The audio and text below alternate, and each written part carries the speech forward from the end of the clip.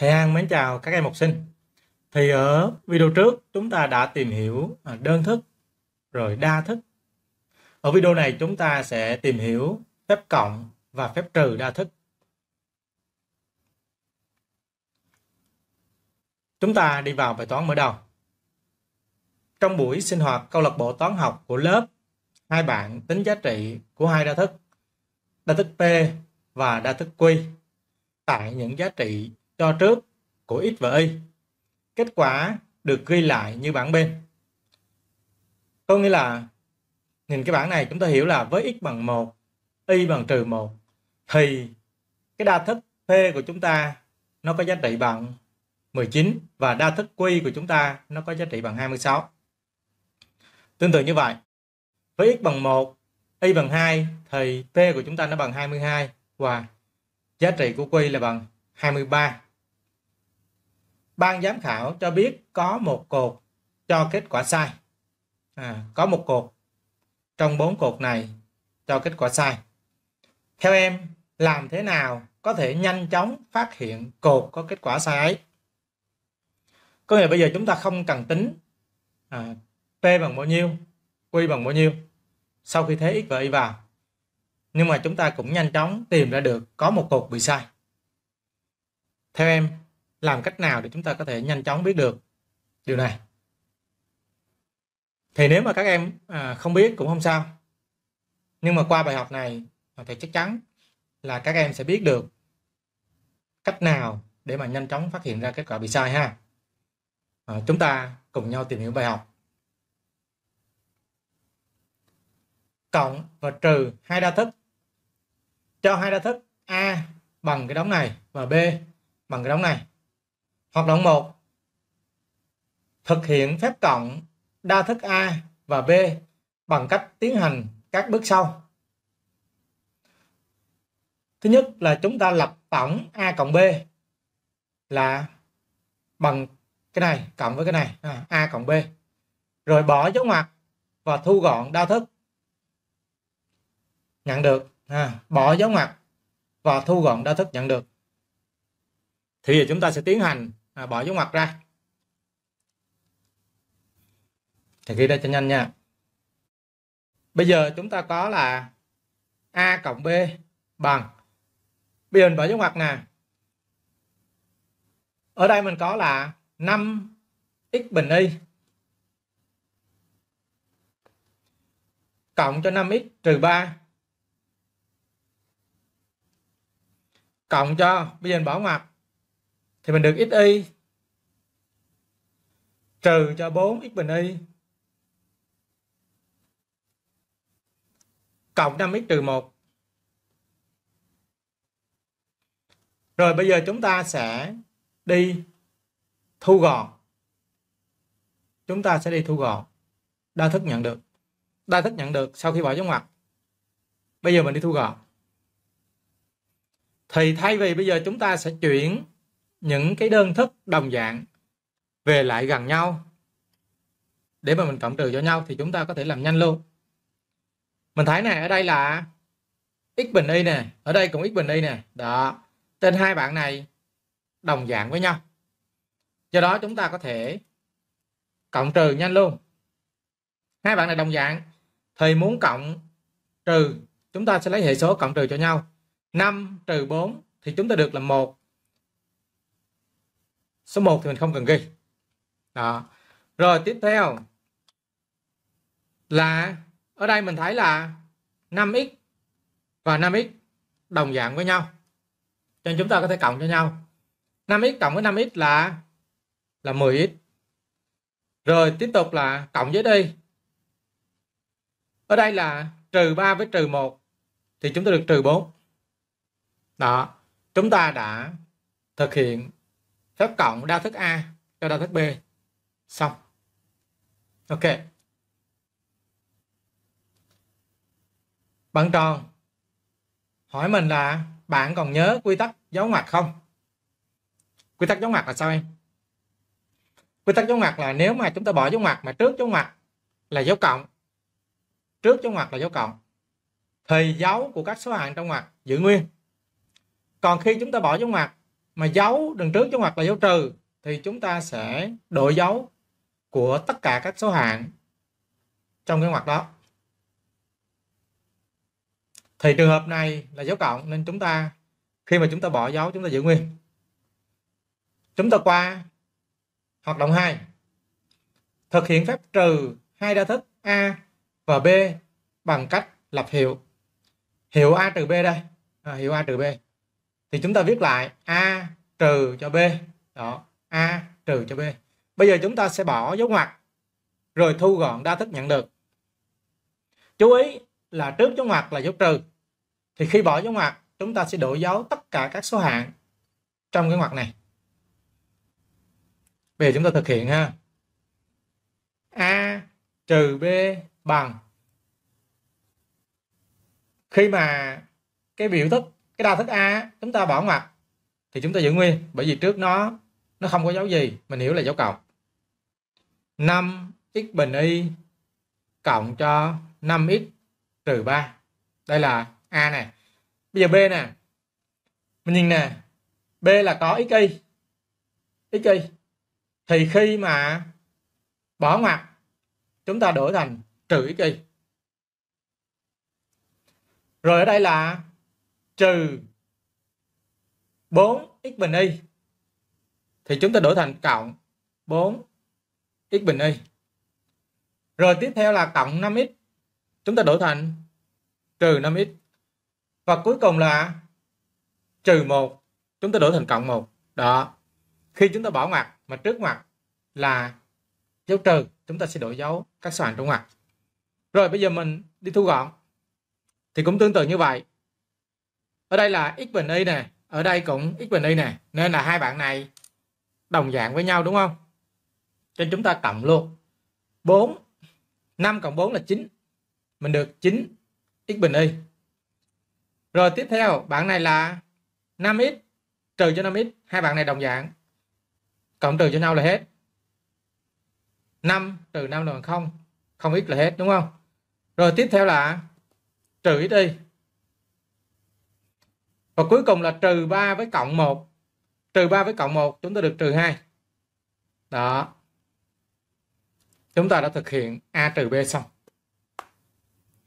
Thì qua cái hoạt động 1 và hoạt động 2 à, chúng ta thấy rằng là muốn cộng hay là trừ hai đa thức ta nối hai đa thức đã cho bởi dấu cộng hay là dấu trừ. Đó. Sau đó chúng ta bỏ dấu ngoặc. À, bỏ dấu ngoặc nếu có và thu gọn đa thức nhận được. Ở đây tại sao người ta nói là nếu có? Bởi vì nếu mà chúng ta nối dấu cộng á thì chúng ta có thể à, không dùng dấu ngoặc ở đây cũng được. Rồi mình bỏ luôn cũng được ha. Còn mình thêm thì càng tốt thêm thì nó kỹ hơn thôi. Cho nên là ở đây người ta nói là nếu có là vậy. Ok rất là đơn giản đúng không? Muốn cộng hay trừ hai đa thức? Ta nối hai đa thức đã cho bởi dấu cộng hay dấu trừ. Rồi bỏ dấu ngoặc và thu gọn đa thức nhận được. Đó. Chúng ta đã thực hiện bỏ dấu ngoặc và thu gọn. Chúng ta đã cộng trừ hai đa thức a và b cho nhau. À, rất là đơn giản. Chú ý phép cộng đa thức cũng có tính chất giao hoán và kết hợp tương tự như phép cộng các số. Với ABC là những đa thức tùy ý. Ta có A cộng B cộng C sẽ bằng A cộng B được bao nhiêu cộng C? Đó. Chúng ta kết hợp A và B lại. À, mình có thể kết hợp A và B lại. Để mình cộng trước. Rồi sau đó chúng ta mới cộng cho C. Hoặc là chúng ta có thể kết hợp B với C lại để mình cộng nhau trước. Rồi sau đó mình mới cộng với A. Đó là tính chất kết hợp. Rồi và nếu mà chúng ta có A trừ cho B bằng C thì chúng ta có thể chuyển cái B này sang bên phải. À, chuyển B sang bên phải nhớ đổi dấu. Đây ở đây là trừ B chúng ta chuyển sang bên phải là cộng B. Hay nói khác là dấu cộng chúng ta không cần ghi. Đó và ngược lại nếu A bằng B cộng C chúng ta có thể chuyển B này sang bên trái. À, B này chúng ta chuyển sang trái. Nhớ đổi dấu nó. Đó chuyển sang bên trái là chúng ta được trừ B. Tương tự như các số ha. Ví dụ tìm tổng và hiệu của hai đa thức C và D. À, tổng và hiệu người cho mình C đây D đây. Bây giờ chúng ta đi tìm tổng và hiệu tổng nè C cộng D bằng C đây người ta viết lại nè. C đây. Đó C đây. D đây. Rồi bước đầu tiên chúng ta đi bỏ dấu ngoặc. Chú ý là trước dấu ngoặc là dấu cộng thì khi bỏ dấu ngoặc, chúng ta giữ nguyên. Đó, bước đầu tiên là mình bỏ dấu ngoặc. Rồi, tiếp theo, mình bỏ dấu ngoặc xong rồi, bây giờ người ta mới thực hiện tính chất giao hóa để người ta đưa những bạn nào, những cái hạng tử nào đồng dạng về gần nhau. Đó, còn mình là mình làm luôn đó. Mình có thể làm nhanh luôn, mình không cần giao hoán còn người ta kỹ hơn, người ta giao hoán đây, mình thấy đây là 5x bình y. Ở đây là trừ 4x bình y cho nên người ta giao hoán, người ta đưa về lại gần nhau. Sau đó người ta có kết hợp. Nhóm lại luôn, ha, nhóm lại luôn. Rồi tiếp theo, ở đây là 5x nè. Ở đây có 5x nè. Người ta đưa về lại gần nhau. Ok. Rồi tiếp theo là trừ 3z con mình nó, người ta ghi lại. Rồi cộng xyz người ta ghi lại. Và cuối cùng là cộng 2 và trừ 1 đây người ta cũng đưa về lại gần nhau. À, kỹ thì mình làm như vậy còn không thì mình làm luôn. Thì lúc đầu các em chưa quen thì các em có thể đưa về lại gần nhau như thế này. Rồi sau này các em quen rồi thì các em có thể làm nhanh như thầy luôn để đỡ mất thời gian. Rồi bây giờ 5 x bình y trừ cho 4x bình y thì chúng ta còn lại 1 x bình y mà số 1 chúng ta không cần ghi. 5x cộng cho 5x thì chúng ta được 10x hai bạn này chúng ta viết lại. Và 2 trừ 1 chúng ta được 1 đó chúng ta đã thực hiện C cộng D. Bây giờ chúng ta sang C trừ D. À, C trừ D. C đây viết lại này. D đây viết lại. Nối với nhau bởi dấu trừ. Rồi tiếp theo bây giờ chúng ta sẽ thực hiện bỏ dấu ngoặc. Các em chú ý là do trước dấu ngoặc là dấu trừ trên khi bỏ chúng ta nhớ đổi dấu nha a chúng ta viết lại. Rồi bây giờ mình, mình đổi dấu nè. Ở đây là x y z. Mình đổi thành trừ x y z. Ở đây là trừ 4x bình y đổi thành cộng 4x bình y. Ở đây là cộng 5x đổi thành trừ 5x ở đây là trừ 1 đổi thành cộng 1 Rồi, tiếp theo mình sẽ giao hóa. Mình đưa những bạn những cái hạng tử nào đồng dạng về lại gần nhau. Ở đây chúng ta có thể thấy là 5x bình y nè rồi 4x bình y đồng dạng nè. Mình đưa về lại gần nhau rồi ở đây là 5x nè. Ở đây là trừ 5x đồng dạng nè. Đưa về lại gần nhau nè. Đó bạn này viết lại. Bạn này cũng viết lại. Đây viết lại đây. Cuối cùng là chúng ta còn số 2 và số 1 hai bạn này cũng là đơn thức đồng dạng nha. Đây đưa về lại gần nhau. Rồi bây giờ chúng ta thực hiện thu gọn. À, thu gọn. Thì hai đơn thức này đồng dạng khi mà cộng với nhau thì chúng ta sẽ cộng hai cái hệ số lại với nhau. Ở đây 5 cộng 4 là chúng ta được 9 à, 9x bình y rồi 5x trừ cho 5x là hết. Hai bạn này chúng ta viết lại. Và 2 cộng 1 bằng 3 đó chúng ta đã thực hiện phép trừ C trừ D. À, trừ hai đa thức. Chúng ta được kết quả này. À, nếu mà các em đã nắm được những cái đơn thức đồng dạng và biết cách rút gọn, thì cái phần cộng trừ hai đa thức nó sẽ rất là đơn giản. Còn nếu mà các em chưa có nắm được đơn thức đồng dạng, thì các em xem lại ở những bài trước, ha. Chúng ta sang luyện tập 1 cho hai đa thức g bằng cái này và h bằng cái này. Hãy tính g cộng h và g trừ h.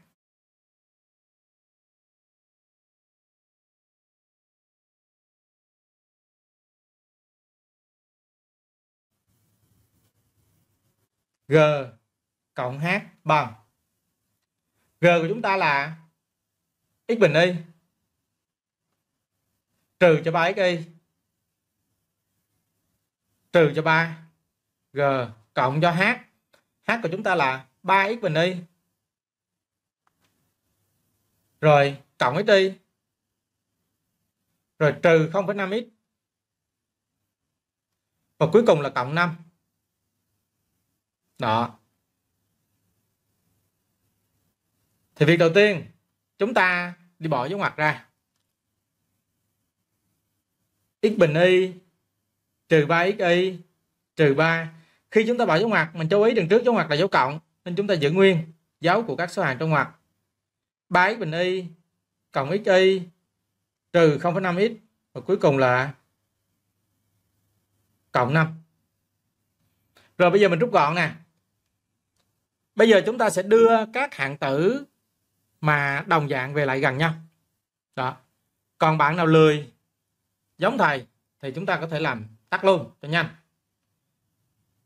Mình không cần đưa về lại gần nhau, mình chơi luôn. Ở đây là x bình y nè. Ở đây là 3x bình y nè. Đó, chúng ta có thể cộng lại luôn. X bình y với lại 3x bình y giống nhau. Hai hạng tử này đồng dạng với nhau. Chúng ta lấy hai hệ số cộng lại. Ở đây là 1 cộng 3 chúng ta được 4 x bình y. Rồi tiếp theo. Hai hạng tử này trừ 3 xy và cộng cho xy đó. Trừ 3 cộng cho 1 trừ 3 cộng 1 chúng ta được trừ 2 đúng không? Trừ 2 xy đó tiếp theo là trừ 0,5x con mình nó thôi. Rồi cuối cùng là trừ 3 với cộng 5 5 trừ 3 thì chúng ta còn lại 2 đó, chúng ta đã thực hiện G cộng H. Rồi bây giờ chúng ta sang G trừ H. G trừ H bằng G nè. X bình y trừ 3xy trừ 3 trừ cho h nè. 3x bình y cộng xy trừ 0,5 cộng 5 đó. G trừ h g trừ h. Việc đầu tiên chúng ta bỏ dấu ngoặc x bình y trừ 3xy trừ 3 khi chúng ta bỏ ngoặc chúng ta chú ý trước dấu ngoặc là dấu dấu trừ cho nên dấu của các số hạng trong ngoặc sẽ được đổi. Ở đây là 3x bình y chúng ta đổi thành trừ 3x bình y ở đây cộng đổi thành trừ xy chỗ này không ghi dấu gì chúng ta hiểu là dấu cộng ha. Dấu cộng đổi thành dấu trừ. Đây là trừ 0,5x thì đổi thành cộng 0,5x cộng 5 đổi thành trừ 5 đó thì đầu tiên chúng ta bỏ ngoặc rồi bây giờ chúng ta có thể thực hiện nhanh luôn. Rút gọn. X bình y trừ cho 3x bình y giống nhau nè. X bình y x bình y nè giống nhau nè. Ở đây không ghi gì chúng ta hiểu là một 1 trừ cho 3 thì chúng ta được trừ 2 x bình y rồi tiếp theo mình có gì nữa? Ở đây chúng ta có là trừ 3 x y ở đây là trừ x y trừ 3 với trừ 1 mình được trừ 4 x y rồi thằng này có mình nó thôi mình viết lại. Cộng 0,5x trừ 3 với trừ 5 nha. Trừ 3 với trừ 5 chúng ta được trừ 8 đó, chúng ta đã thực hiện G trừ cho H. Mình xong luyện tập 1 chúng ta sang luyện tập 2 rút gọn và tính giá trị của biểu thức sau tại x bằng 2 và y bằng trừ 1 biểu thức K bằng cái đóng này. Luyện tập 2 thì việc đầu tiên, chúng ta sẽ đi bỏ ngoặc nè k bằng bỏ ngoặc nè. Mình có x bình y cộng cho 2 x y mũ 3 rồi bảng này khi chúng ta bỏ ngoặc mình thấy là trước dấu ngoặc là dấu trừ cho nên dấu các số hạng trong ngoặc sẽ đổi. Thì ở đây là 7,5 x mũ 3 y bình. Chúng ta đổi thành trừ 7,5 x mũ 3 y bình trừ cho x mũ 3 thì chúng ta đổi thành cộng x mũ 3 đó. Tiếp theo cộng bỏ ngoặc này ra. Trước ngoặc là dấu cộng nên dấu các số trong ngoặc được giữ nguyên. 3x y mũ 3 cộng 3x y mũ 3 Rồi tiếp tục trừ x bình y. Trừ x bình y. Và cuối cùng là cộng cho 7,5 x mũ 3 y bình.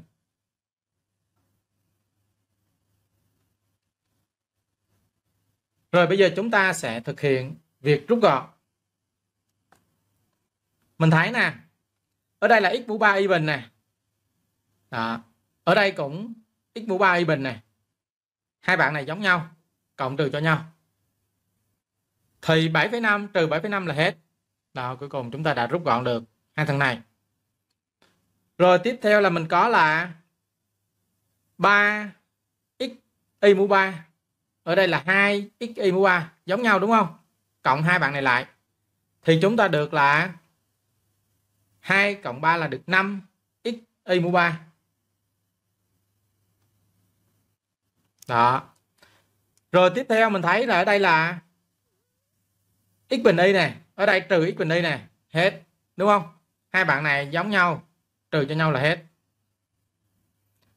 Rồi mình còn gì nữa? Cuối cùng chúng ta còn lại mỗi cái x 3 này thôi. Cộng cho x mũ mũ 3. Đó chúng ta đã à, rút gọn xong. Bây giờ chúng ta cần tính giá trị của biểu thức tại x bằng 2 và y bằng trừ 1. Chú ý là chúng ta thế vào đây nè, cho nó gọn, à, chứ đừng có thế vào cái biểu thức k lúc đầu. Tại x bằng 2 và y bằng trừ 1.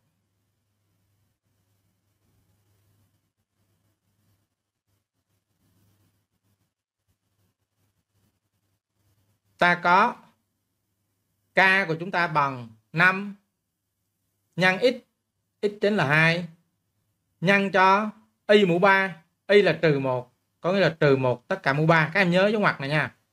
Cộng cho x mũ 3 x mũ 3 x là 2 thì 2 mũ 3 đó. Trừ 1 mũ 3 là chúng ta được trừ 1 nhân với trừ 1 nhân với trừ 1 thì bằng trừ 1 5 nhân 2 là 10 10 với trừ 1 là chúng ta được trừ 10 2 mũ 3 là 8 trừ 10 cộng 8 thì chúng ta được trừ 2 chúng ta xong luyện tập 2 chúng ta sang vận dụng. Trở lại tình huống mở đầu. Hãy trình bày ý kiến của em. À, anh bạn vuông có nhắc nhở chúng ta nè hãy chú ý đến đa thức p cộng với q. Nè trình bày ý kiến của em. Ý kiến của em là sao? Có nghĩa là đề muốn bảo chúng ta là giải thích. À, giải thích. Tại sao? Hay là làm thế nào có thể nhanh chóng phát hiện ra cột có kết quả sai ấy? À, cột có kết quả sai ấy. À, nhanh chóng phát hiện ra. Thì nếu mà bình thường mình phát hiện thì nó hơi khó nhưng mà bạn vuông đã nhắc nhở chúng ta là chú ý đến p cộng với q. Đây p cộng với q thì bây giờ chúng ta thử lấy b cộng q xem chuyện gì xảy ra, nha. B cộng q á, thì mình sẽ thấy nè. Ở đây là 2 x bình y mà cộng cho trừ 2 x bình y là hết, đúng không? Là hết. Rồi tiếp tục, chúng ta thấy ở đây là trừ x y bình. Ở đây là x y bình. Đó, cho nên là hai bạn này cộng lại cũng hết như vậy thì cuối cùng chúng ta còn lại là 22 cộng cho 23 là chúng ta được là 45 45 đồng ý không nào đó. Có nghĩa là nếu mà chúng ta lấy P cộng Q à nếu mà chúng ta lấy P, chúng ta cộng Q, thì chúng ta sẽ được là 45 Ok, nếu mà chúng ta lấy B cộng Q thì chúng ta được 45 rồi, như vậy bây giờ chúng ta thử coi, chúng ta lấy P này cộng Q này thì có được 45 hay không, đúng không? Nè 19 cộng với 26 45 đúng. 25 cộng với 20 45 đúng. 38 cộng cho 17 bằng 55 lận được chưa? 38 cộng 17 là 55 như vậy là mình phát hiện là à cột này bị sai, được chưa? Cột này bị sai. Bởi vì P cộng Q luôn luôn bằng 45 với mọi x y, nhưng mà cột này P cộng Q bằng tới 55 lần nên là chúng ta phát hiện ngay cột này bị sai. Thử cột cuối cùng coi. 22 cộng cho 23 cũng bằng 45 ok, đó. Thì những cột khác đúng hay không, mình chưa có chắc lắm nha. Có vẻ đúng, chưa chắc. Nhưng mà cái cột này sai là chắc chắn nè. Đó. Tại sao thầy nói các cột khác là đúng, chưa chắc? Bởi vì nếu mà những cái cột này 19 người ta tính sai 26 người ta tính sai, nhưng mà vô tình cộng lại, nó cũng ra, cũng có thể ra 45 đúng không? Đó. Cho nên là những cái cột khác là đúng hay không là chúng ta chưa chắc. Nhưng mà cái cột sai á, thì chúng ta phát hiện cái cột này sai là chắc chắn. Đó vậy thì mình trả lời là làm thế nào có thể nhanh chóng phát hiện được cột có kết quả sai ấy? Thì mình nói là khi mà chúng ta lấy P cộng Q chúng ta được 45 và trong cái bảng này chúng ta cũng lấy P cộng Q và chúng ta phát hiện cái cột thứ hai tính từ phải sang là nó ra kết quả là 55 cho nên rõ ràng cái cột này bị sai. Đó thì cái bài à, à cộng và trừ hai đa thức Ờ, cũng khá là đơn giản đúng không? Phép cộng và phép trừ hai đa thức cũng khá là đơn giản.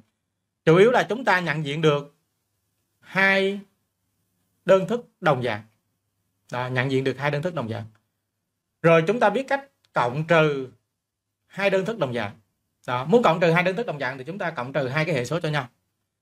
Và một cái yếu tố quan trọng nữa là các em cần chú ý là khi mà bỏ dấu ngoặc chúng ta phải chú ý là trước dấu ngoặc mà dấu trừ á thì dấu của các số hạng trong ngoặc sẽ được đổi đó thì chúng ta à, xong phần lý thuyết ha. Thì xem xong phần lý thuyết các em à, làm phần bài tập nha làm phần tập. Để hôm sau à, so sánh kết quả với thầy An. Thầy An hẹn gặp lại các em ở video sau. Thầy An chúc các em học tốt. Nếu mà các em thấy video này hữu ích thì nhớ à, cho thầy một like cũng như chia sẻ cho các bạn khác cùng xem giúp thầy An. Bye bye.